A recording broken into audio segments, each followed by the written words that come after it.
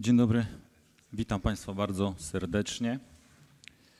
E, na podstawie artykułu 20 ust. 3 ustawy z dnia 8 marca 1990 roku o samorządzie gminnym na dzień dzisiejszy została zwołana druga sesja dziewiątej kadencji Rady Gminy w Miłorac. Jednocześnie informuję Państwa, że posiedzenia Rady Gminy Miłorac są transmitowane na żywo oraz nagrywane. W związku z powyższym informuję, że przekazywanie na sesji dowolnych informacji o osobach fizycznych niepełniących funkcji publicznych, obecnych lub nieobecnych na sesji lub wypowiadanie się publicznie na ich temat może stanowić naruszenie ich prywatności oraz dobrego imienia, a w konsekwencji stanowić naruszenie ochrony poufności ich danych osobowych. Przedstawię teraz Państwu proponowany porządek posiedzenia. Punkt pierwszy otwarcie obrad. Punkt drugi stwierdzenie prawomocności. Punkt trzeci przyjęcie porządku obrad. Punkt czwarty przyjęcie protokołu z pierwszej sesji.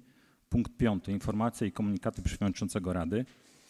Punkt szósty informacje wójta gminy o pracach między sesjami. Punkt siódmy informacje przewodniczącego w sprawie interpelacji i zapytań. Punkt ósmy uchwały. Pierwszy projekt uchwały podjęcie uchwały w sprawie powołania komisji rewizyjnej i wyboru przewodniczącego komisji rewizyjnej. Drugi projekt uchwały podjęcie uchwały w sprawie powołania komisji skarg, wniosków i petycji i wyboru przewodniczącego komisji skarg, wniosków i petycji. Następny projekt uchwały podjęcie uchwały w sprawie powołania stałych komisji Rady Gminy. Kolejny projekt uchwały podjęcie uchwały w sprawie ustalenia zasad przyznawania diet dla radnych gminy Miłorac. Kolejny projekt uchwały podjęcie uchwały w sprawie ustalenia wynagrodzenia wójta gminy Miłorac. Kolejny projekt uchwały podjęcie uchwały w sprawie wyrażenia woli zagospodarowania środków finansowych w sprawie dopłat do taryfy za zbiorowe zaopatrzenia w wodę i odprowadzenie ścieków na terenie gminy Miłorac. Następny projekt uchwały podjęcie uchwały w sprawie ustalenia górnej stawki opłaty ponoszonej przez właścicieli nieruchomości za opróżnienie osadników w instalacjach przydomowych oczyszczalni ścieków i transport nieczystości ciekłych na terenie gminy Miłorac. Kolejny projekt uchwały, podjęcie uchwały zmieniającej uchwałę w sprawie przyjęcia strategii zintegrowanych inwestycji terytorialnych dla miejskiego obszaru funkcjonalnego Marek Malbork-Sztum 2030. Następny projekt uchwały, podjęcie uchwały w sprawie zmian w budżecie gminy na rok 2024, zmiana trzecia. I ostatni projekt uchwały, podjęcie uchwały w sprawie przyjęcia wieloletniej prognozy finansowej gminy Miorac na lata 2024-2038. Punkt dziewiąty. Wolne wnioski i oświadczenia. Punkt dziesiąty. Zakończenie obrad. Proszę Państwa, otwarcie obrad nastąpiło. Przechodzimy do punktu drugiego. Stwierdzenie prawomocności. Na podstawie listy obecności na sali jest 14 radnych, więc możemy prawomocnie podejmować uchwały. Przechodzimy do punktu trzeciego. Przyjęcie porządku obrad. Czy ktoś z Państwa radnych ma uwagi do proponowanego porządku obrad? Dziękuję, nie widzę. W takim razie punkt czwarty. Przyjęcie protokołu z pierwszej sesji. Czy ktoś z Państwa radnych ma uwagi co do protokołu z pierwszej sesji? Nie widzę, dziękuję. Punkt piąty. Informacje i komunikaty przewodniczącego Rady. Na tą chwilę nie mam dla Państwa do przekazania żadnych informacji. Przechodzimy do punktu szóstego. Informacje wójta gminy o pracach między sesjami. Oddaję głos Panie Wójcie. Dzień dobry, witam serdecznie Szanowną Radę, sołtysów, pracowników urzędu, Panią Dyrektor Gminnego Zakładu Gospodarki Komunalnej, Pana Mecenasa. E, roboczo od kwietnia mam spisane e, prace. Na dzień dzisiejszy jesteśmy powyborczo. Zarówno my, jak i reszta mm, szczebli samorządowych. Mm, staramy się pracować, niemniej jednak czekamy w głównej mierze na środki finansowe zewnętrzne, tak żeby ruszyć z przytupem i one są zapowiadane, ale jeszcze na razie nie uruchomione.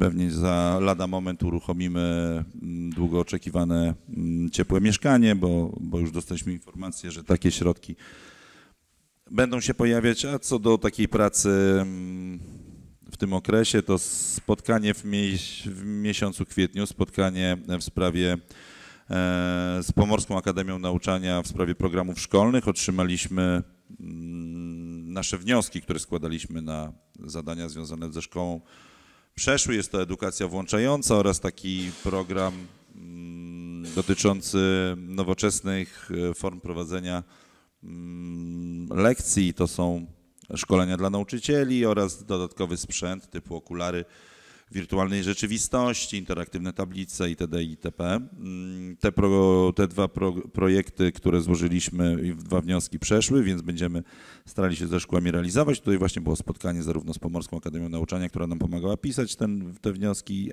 jak i z dyrektorami, którzy, którzy, te, mm, którzy te programy i wnioski będą realizować. Spotkanie z projektantem ścieżek rowerowych. E, Jesteśmy w trakcie projektowania, już w zasadzie ku końcowi na pozwoleniu na budowę. To jest, są ścieżki rowerowe mm, Kończewice Bystrze. Tutaj Leszek patrzy na mnie, tak, ale spotkanie jeszcze tamto głównej ścieżki, którą jesteś zainteresowany, się nie odbyło, e, ale tu już spotkanie Kończewice Bystrze to jest pomorskie trasy rowerowe, dalszy etap trasy rowerowej R9. Ciągu kadencji przewidziane są i po rozmowach zapewnione są środki finansowe na realizację odcinka Stara Wisła Kończewice i Kończewice Bystrze, czyli tutaj, y, gdzie był dawny plac Buraczany w kierunku Kapliczki i odcinek od y, tego, tam gdzie się kończą Kończewice w kierunku Bystrza do Kapliczki. Te dwa odcinki są zaprojektowane. Y, W trakcie projektowania to była o nich rozmowa, a ten pierwszy główny, czyli Stara Wisła Kończewice ma już pozwolenie na budowę i no, czekamy po prostu na środki finansowe, które tam w rozmowach gdzieś toczących się są zapewnione, ale jeszcze nie uruchomione. E, Spotkanie z firmą POR oraz Ochotniczą Strażą Pożarną w Kończewicach, e, współpraca w ramach Tygodnia Bezpieczeństwa, BHP. Mm, Nasi strażacy wraz ze szkołą podstawową w Kończewicach prowadzili takie, mm, taki pokaz bezpieczeństwa na e, budowie. E, Pracownicy firmy POR wyjaśniali, jak wygląda praca. Mm, Przy okazji szkoła, klasa siódma, miała dzień doradztwa zawodowego, mogła się zapoznać z tym, jak wygląda praca zarówno operatorów koparki, jak i inżynierów. E, Myślę, że bardzo dobre i owocne spotkanie. Tam też toczyły się rozmowy dotyczące ewentualnej współpracy, takiej jak poprawa jakości dróg śródpolnych, y, czy wsparcie, e, jak nie finansowe, to rzeczowe Ochotniczej Straży Pożarnej. Myślę, że ten temat jest dalej do rozmowy. W międzyczasie byłem podpisać akt notarialny, umowę przedwstępną na sprzedaż e, gruntu przylegającego do domu e, nauczyciela dawnego w Kończewicach. Tam jest wspólnota. Dobiegliśmy już do tego momentu, w którym, w którym podpisaliśmy umowę przedwstępną. Jeszcze Krajowy Ośrodek Wsparcia Rolnictwa musi wyrazić zgodę, czy odstępuje od pierwokupu i wtedy będziemy mogli podpisać już normalny e, akt notarialny. Rozliczyliśmy w międzyczasie projekty wcześniej pisane, takie jak e, kajaki w Pogorzej Wsi i ścieżkę rowerową R9, dokładnie miejsca postojowe. Jedne znajdują się w Montowach małych, tam na wale, w, w miejscu, w którym był stary przystanek autobusowy. W Montowach Wielkich u koło księdza e, znajduje się drugi taki punkt, e, w którym można sprawdzić trasę, naprawić rower, bo tam znajdują się też urządzenia do naprawy roweru, a w Montowach Małych znajduje się również taras widokowy z widokiem na Wisłę.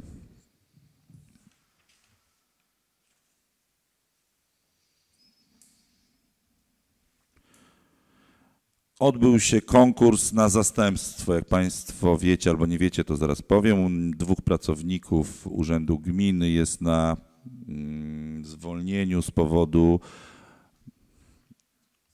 mm, opieki macierzyńskiej.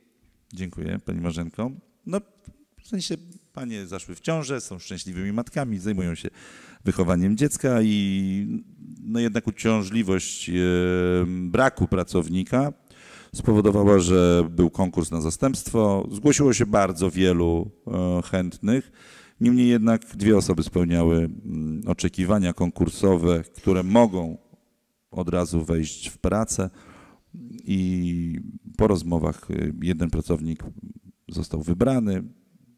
Jakoś lada moment ma zacząć pracę, więc e, jakby trochę odciąży nas e, i przyspieszy pracę urzędu, bo troszeczkę faktycznie mm, w pewnym momencie to zwolniło i zaczęło zalegać. E, Malborskie Światłowody, mm, właściciel firmy udał się do mnie na rozmowę.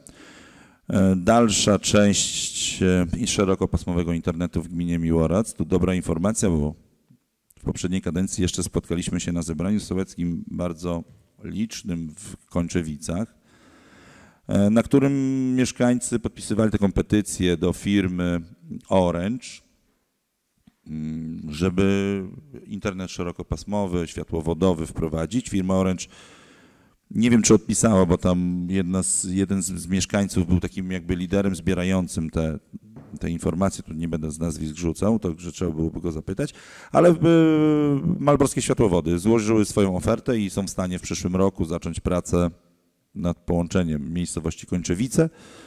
Mm, Koszty nasze wprowadzenia szerokopasmowego internetu to jest około 80 tysięcy złotych żeby zrobić projekt i zrealizować możliwość położenia światłowodów na terenie całych Kończewic. Znaczy oczywiście, że firmy, firma Orange nie jest firmą polską, to też jest firma komercyjna, tak samo jak Malborskie Światłowody, mm, no będą chciały realizować inwestycje przy współpracy z samorządem. Dzisiaj szerokopasmowy internet to jest jednak e, urządzenie przyszłości. To COVID pokazał, że internet jest jedną z ważniejszych rzeczy. Myślę, że takie sytuacje E, to nie są sytuacje, które należy już zapomnieć, tylko one mogą się powtórzyć, więc e, bardzo dobrze jest rozwijać gminę w tym kierunku. Myślę, że już na komisjach poszczególnych, tudzież wspólnych, jeżeli będziemy się spotykać, będziemy rozmawiać na temat możliwości, chęci naszej współpracy z tym oto operatorem. Odbyło się zebranie w Starej Kościelnicy, bardzo fajne zebranie. Myślę, że udało się nam zaspokoić e, wiedzę mieszkańców na temat pewnych, pewnych rzeczy e, i ustalić pewne warunki współpracy, co, co mi się też bardzo podoba, że, że spotykamy się, ustalamy, że tak będziemy robić i, i obydwie strony, mam nadzieję, będą się tego trzymać. Mm, bardzo fajne spotkanie, tam mieszkańcy jeszcze posiedzieli, mi jednak podziękowali, myślę, w połowie, więc, ale byłem samochodem, to i tak Spotkanie z firmą WPD e, to jest jedna z firm, która zainteresowana jest ustawieniem wiatraków na terenie gminy Miłorac. E, spotkanie takie powyborcze, gratulacje, e, pozdrowienia dla Rady i zapowiedź współpracy na nadchodzące lata. Także to tyle. Jeżeli ktoś ma jakieś pytania, to słucham. Dziękuję panie wójcie. Czy ktoś tak ad hoc chciałby od razu? Proszę Pani Radna. O ten światłowód chciałam się dopytać. E, mówimy o sołectwie Kołączewice, a pozostałe sołectwa? No w poszczególnych latach następnych, kiedy będzie taka możliwość. Z informacji, którą mam, bo najbardziej zainteresowany jest Pan Piotr Wąsowicz, czyli właściciel firmy mm, Malborskie Światłowody i on chodzi, załatwia, bo to trzeba uzyskać zgody zarówno od Ministerstwa Cyfryzacji, tudzież od operatorów, tam gdzie jest przyłączony światłowód, żeby go rozszerzyć. Mm. No to wiem, że zainteresowany jest zrobieniem teraz Kończewic i później patrzał w kierunku montów wielkich ze względu na możliwości techniczne, które są najbliższe. Mówiłem mu, że jeżeli by patrzał pod względem ilości odbiorców, czyli opłacalności, to kolejnym po drodze sołectwem jest Pogorza Wieś. No ale musi sprawdzić tam warunki jakoś nie trafiło mu się tak, żeby to było bardzo blisko. Jednak bliskość drogi krajowej 22 powoduje to, że tam infrastruktura jest już położona i można się do niej po prostu wpiąć. Tak, gdzie indziej są e, jakby powiedzmy gdzieś większe problemy. Tutaj w, w zrealizowanym już Miłoradzu łatwość tego polegała, po pierwsze, korzystność polegała na tym, że jest bardzo dużo odbiorców, czyli bloki, a mm, jakby możliwość polegała na tym, że Orange prowadziła światłowód, który był prowadzony dla szkół w ramach projektów rządowych, więc on jakby rozszerzył tą tą możliwość i poprowadził światłowody do mieszkańców indywidualnych odbiorców. Myślę, że jakby będziemy realizować to, więc będę rozmawiał i szukał możliwości dalej. Założenie jest, żeby w całej gminie był szeroko. Może pojawi się firma konkurencyjna, nie wykluczam też rozmów z innym operatorem. Tak? Dziękuję. Dziękuję. Skoro nie ma żadnych innych pytań, przejdę do punktu siódmego. Informacje przewodniczącego w sprawie interpelacji zapytań. Proszę Państwa, do Biura Rady wpłynęły dwie interpelacje. Radnej Sylwii Witek. Pierwsza z interpelacji w sprawie zastosowania progu zwalniających tudzież znaków ograniczających prędkość z informacją elektroniczną o aktualnej prędkości.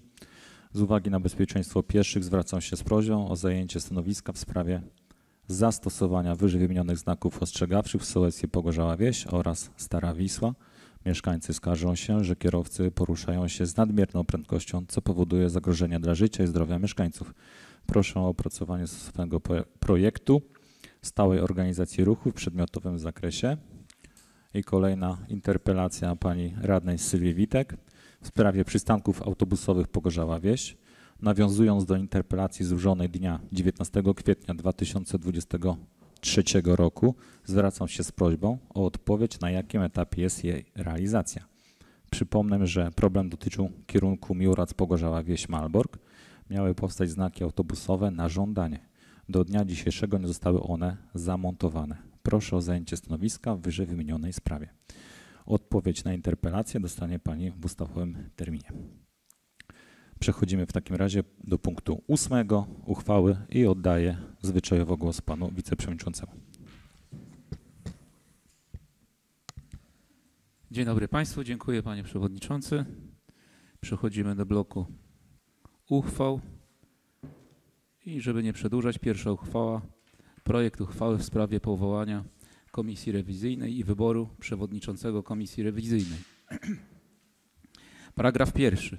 W wyniku przeprowadzonego głosowania na członków Komisji Rewizyjnej dziewiątej kadencji 2024-2029 wybrani zostali radni, czy może bardziej zgłosili się radni. Yy, Pan Kłoda Dariusz, pan Kołodziejski Arkadiusz, pani Sobczyk Dorota oraz pani Witek Sylwia. No i paragraf drugi. Rada Gminy Miłorac powierzyła w drodze głosowania funkcję przewodniczącemu komisji rewizyjnej i w tym momencie oddam głos panu Rejmondowi chyba, który poprowadzi to głosowanie. Zgodnie z, z zapisami naszego statutu y, Rada Gminy y, wybiera przewodniczącego komisji rewizyjnej, natomiast zastępca y, przewodniczącego jest wybierany y, w, y, w, w składzie komisji, między sobą wybieracie Państwo.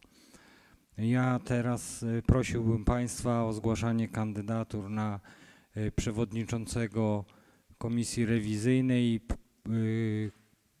poszczególni kandydaci zostaną przegłosowani i ten, który dostanie najwięcej głosów za, y, zostanie wybrany na przewodniczącego komisji.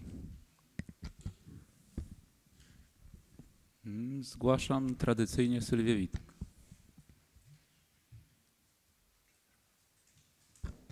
Ja zgłaszam Arkadiusz Kołodziejski. Sylwia Witek wyraża zgodę? Tak, wyrażam zgodę. Dziękuję.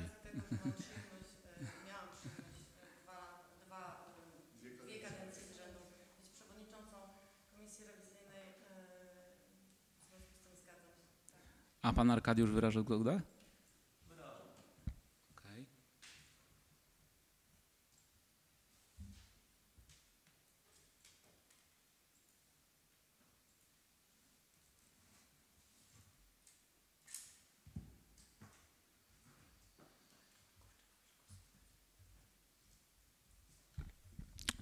Czy są jeszcze jakieś inne kandydatury? Nie widzę, dziękuję. Takim razie zamykamy listę kandydatur. Pozwolicie teraz Państwo, że Pan sekretarz przygotuje do głosowania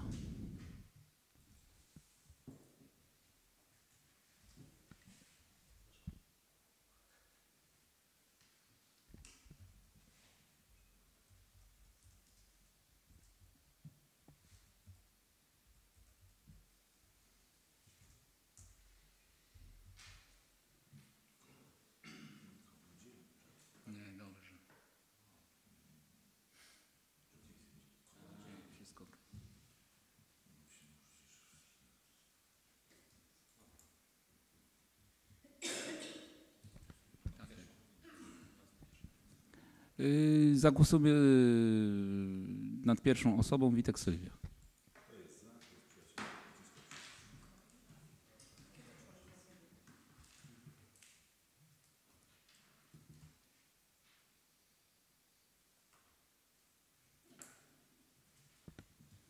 W wyniku głosowania pani Sylwia Witek otrzymała 10 głosów za, 3 głosy przeciw i jeden z głos się wstrzymał.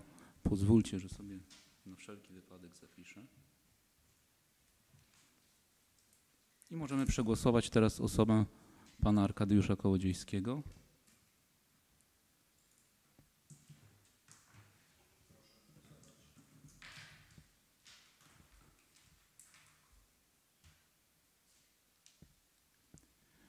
W wyniku głosowania pan Arkadiusz Kołodziejski otrzymał 3 głosy za, 7 głosów przeciw i 4 osoby się wstrzymały.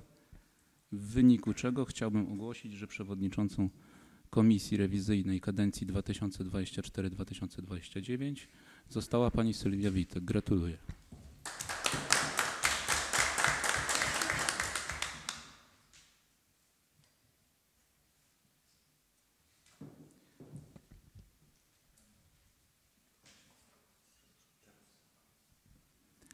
W takim razie przejdźmy do przegłosowania całego projektu uchwały w sprawie powołania Komisji Rewizyjnej i wyboru przewodniczącego Komisji Rewizyjnej.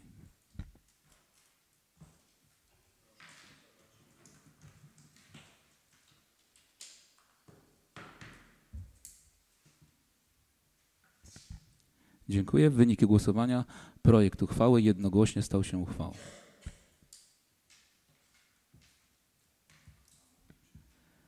Kolejny projekt uchwały w sprawie powo- powołania Komisji Skarg, Wniosków i Petycji i wyboru przewodniczącego Komisji Skarg, Wniosków i Petycji.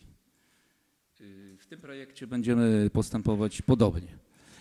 Y, W wyniku przeprowadzonego y, głosowania na członków Komisji Skarg, Wniosków i Petycji kadencji 2024-2029 zostali zgłoszeni następujący radni. Kasperkiewicz Andrzej, Topór Leszek oraz Wiącek Mariola.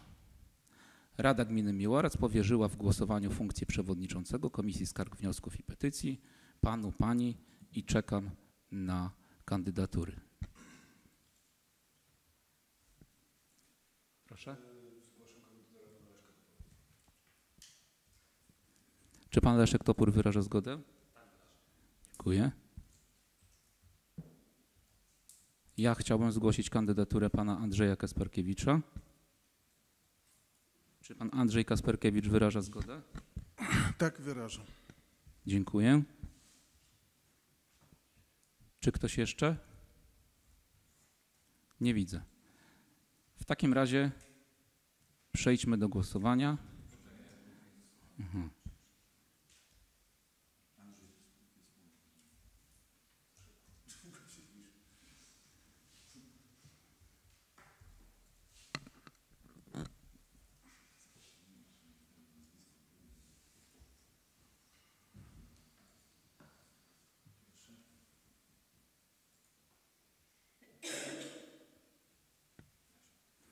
Przegłosujmy w takim razie kandydaturę pana Leszka Topora. Proszę.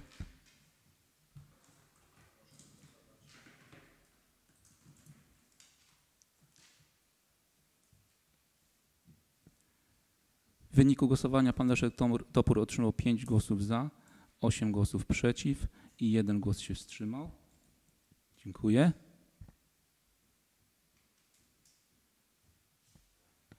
I przegłosujmy teraz kandydaturę pana Andrzeja Kasperkiewicza. Proszę.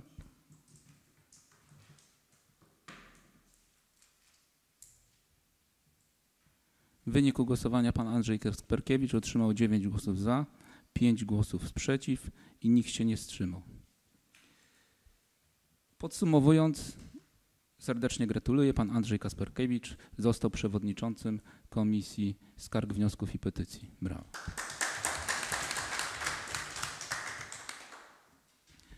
Przegłosujmy teraz jeszcze cały projekt uchwały w sprawie powołania Komisji Skarg, Wniosków i Petycji oraz wyboru przewodniczącego Komisji Skarg, Wniosków i Petycji. Proszę bardzo.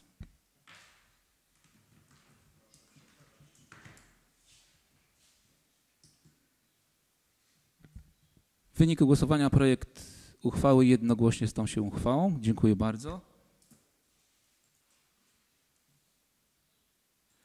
Kolejny projekt uchwały w sprawie powołania Komisji Stałych Rady Gminy Miłorac. W dziewiątej kadencji Rady Gminy Miłorac 2024-2029 powołuje się następ, następujące komisje stałe. Komisja Kultury, Oświaty i Pomocy Społecznej i Komisja Finansów i Rozwoju.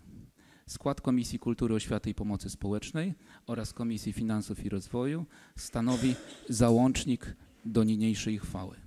I tak. Komisja Kultury, Oświaty i Pomocy Społecznej.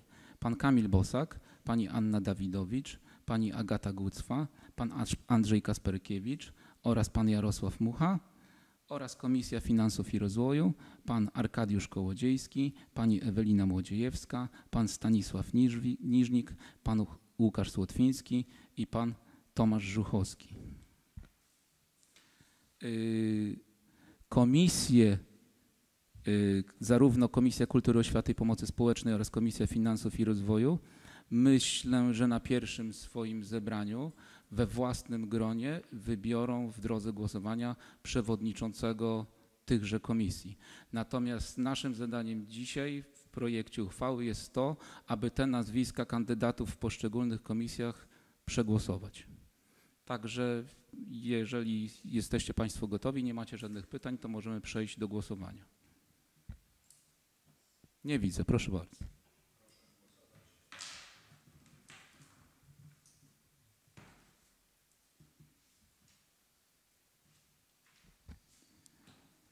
W wyniku głosowania projekt uchwały jednogłośnie stał się uchwałą. Proszę Państwa, z racji tego, że e, właśnie przed chwilą zostały powołane komisje, e, uchwały muszą być zaopiniowane przez poszczególne komisje.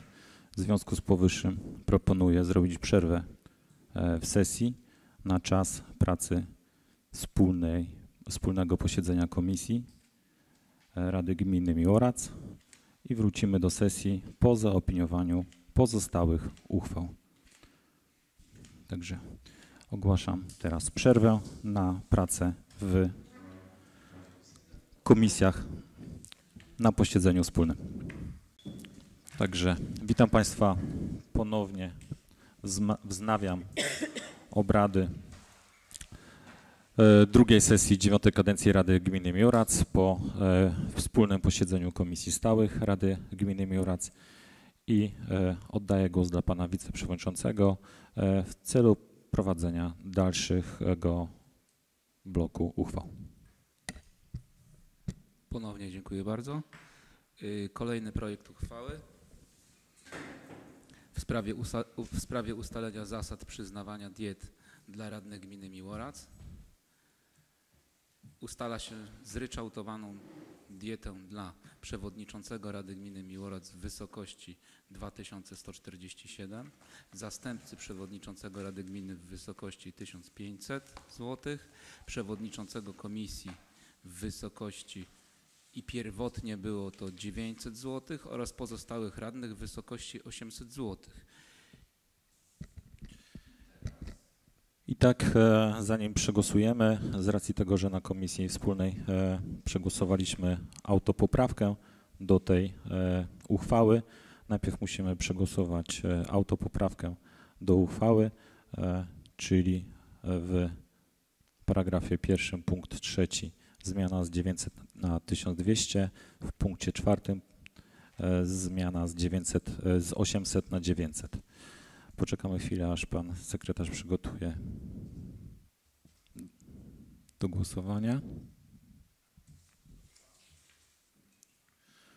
Punkt trzeci z 900 na 1200, e, punkt czwarty z 800 na 900.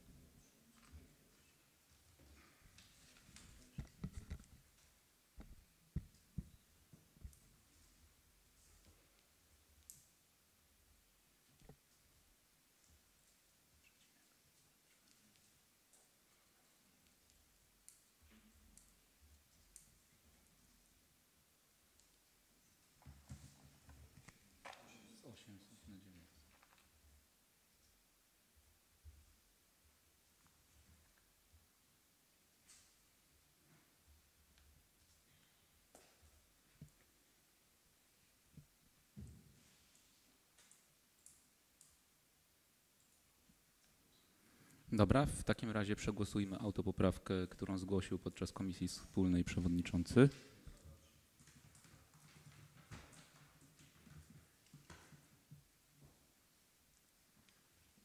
W wyniku głosowania nad autopoprawką 9 osób za, 5 osób przeciw, 0 osób wstrzymujących się. I teraz może ja jeszcze raz przeczytam już projekt uchwały po autopoprawce i przegłosujemy cały projekt uchwały. A więc paragrafie pierwszym ustala się zryczałtowaną dietę dla przewodniczącego Rady Gminy w wysokości 2147 zł, zastępcy przewodniczącego Rady Gminy w wysokości 1500 zł, przewodniczącego komisji w wysokości 1200 zł i pozostałych radnych w wysokości 900 zł. Przypominam, że dieta ulega obniżeniu o 30% za każdą nieobecność radnego na sesji Rady Gminy oraz za każdą nieobecność radnego na posiedzeniu komisji co do wysokości przysługującej diety. W przypadku odbywania się w tym samym dniu sesji oraz komisji wspólnej, na którym radny był nieobecny, dokonuje się jednorazowego potrącenia diety w wysokości 30%. I teraz byśmy mogli y, projekt tej uchwały przegłosować w całości. Także zapraszam do głosowania.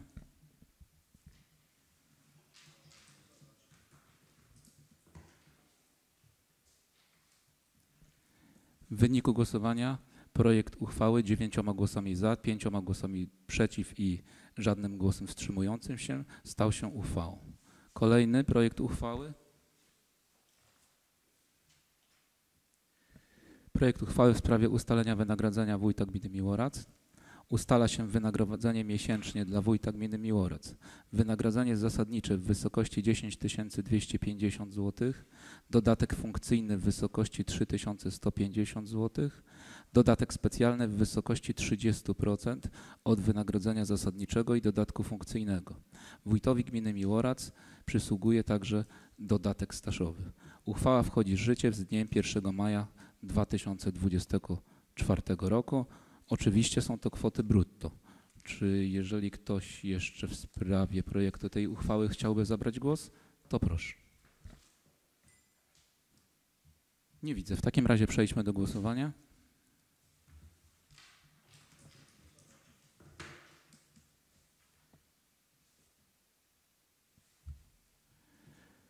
W wyniku głosowania y, za 9 osób, przeciw 3 osoby, wstrzymały się od głosu 2 osoby. Projekt uchwały stał się uchwałą. Kolejny projekt uchwały. W sprawie wyrażenia woli zagwarantowania środków finansowych w sprawie opłat do taryf za zbiorowe zaopatrzenie w wodę i odprowadzenie ścieków na terenie gminy Miłorac. Rada Gminy Miłorac wyraża wolę zagwarantowania środków finansowych w budżecie na lata 2025-2026 w celu udzielenia dopłat dla odbiorców usług zbiorowego odprowadzenia ścieków według taryfy dla gospodarstw domowych z terenu gminy Miłorac w wysokości 2 zł i 5 gło- y, groszy netto dla każdego metra sześciennego odebranych ścieków. Dopłaty dla gospodarstw domowych służyć mają ochronie mieszkańców przed wzrastającymi cenami taryf za dostarczoną wodę i odprowadzone ścieki. Wobec, wobec powyższego podjęcie uchwały przedmiotowej w tym zakresie jest zasadne. Czy ktoś z Państwa chciałby jeszcze zabrać głos w tej sprawie? Nie widzę. W takim razie przejdźmy do głosowania.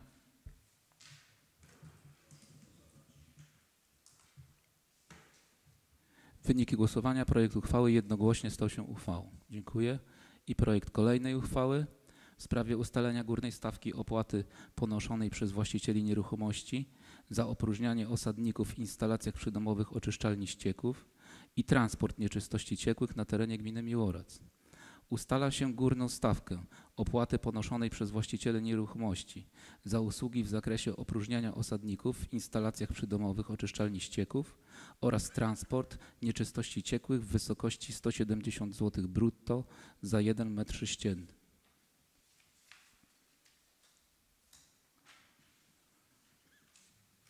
Cały projekt uchwały został omówiony przez panią dyrektor na komisji wspólnej. Jeżeli ktoś jeszcze chciałby o coś dopytać, to pani dyrektor jest obecna. Bardzo proszę. Nie widzę. W takim razie przejdźmy do głosowania.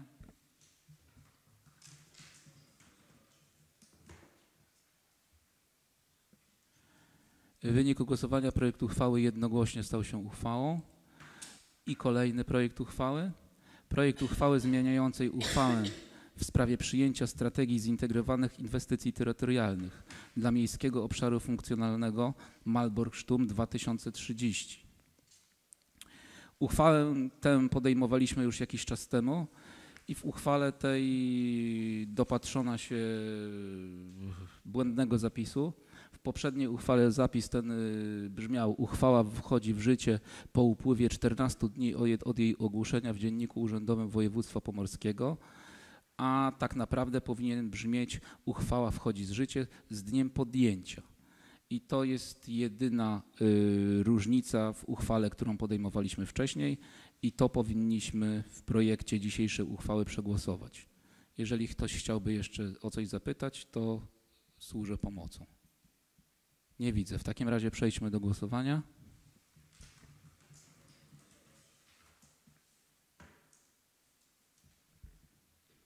W wyniku głosowania projekt uchwały jednogłośnie stał się uchwałą. I kolejny projekt uchwały w sprawie zmian w budżecie gminy Miłorac na rok 2024, zmiana trzecia. Yy, Pani skarbnik yy, nie tak dawno, jakiś kwadrans temu przedstawiła na komisji wspólnej dość, dość szczegółowo zmiany w budżecie. Jeżeli ktoś coś, coś komuś umknęło, to bardzo proszę, może zabrać głos.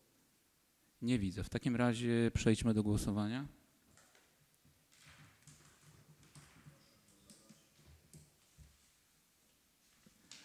Y, W wyniku głosowania projekt uchwały jednogłośnie stał się uchwałą. I ostatni projekt uchwały w sprawie przyjęcia wieloletniej prognozy finansowej gminy Miłorac na lata 2024-2038.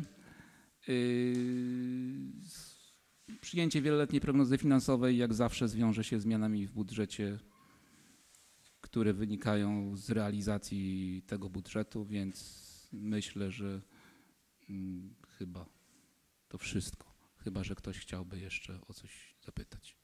Nie widzę. W takim razie przejdźmy do głosowania.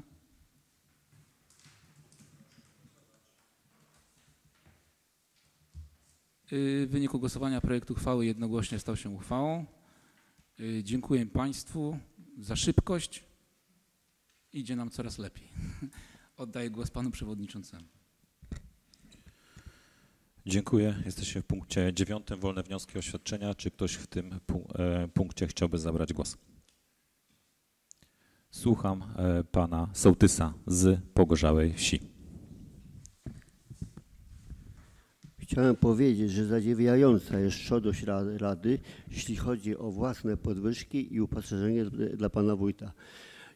Biorąc pod uwagę, że to są yy, środki publiczne. Zadziwiająca natomiast jest amnezja, jeśli chodzi o sołtysów. Dziękuję serdecznie. Śpieszę się e, z odpowiedzią, panie sołtysie. Pan jeszcze nie wychodzi. No skoro pan podjął temat, no to chciałbym panu odpowiedzieć. Na tą chwilę uchwały o sołtysach nie podejmowaliśmy. Jakby pan, powinien pan się orientować, był pan radnym, że takie tematy, jeżeli chodzi o sołtysów, były po- poruszane na komisji wspólnej. W związku z powyższym jest to nasze drugie posiedzenie i myślę, że wcześniej czy później ten temat zostanie poruszony.